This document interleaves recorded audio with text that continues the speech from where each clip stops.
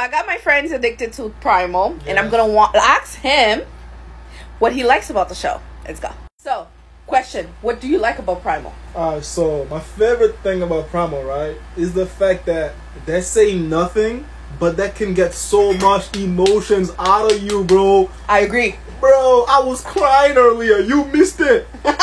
So, what do you think is gonna happen in season two?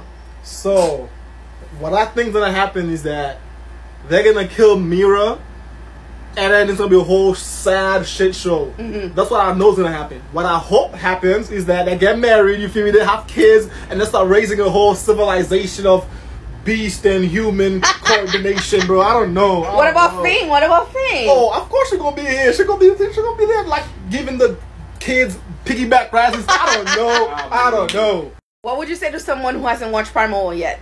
Go watch! Hundred percent. Go watch it.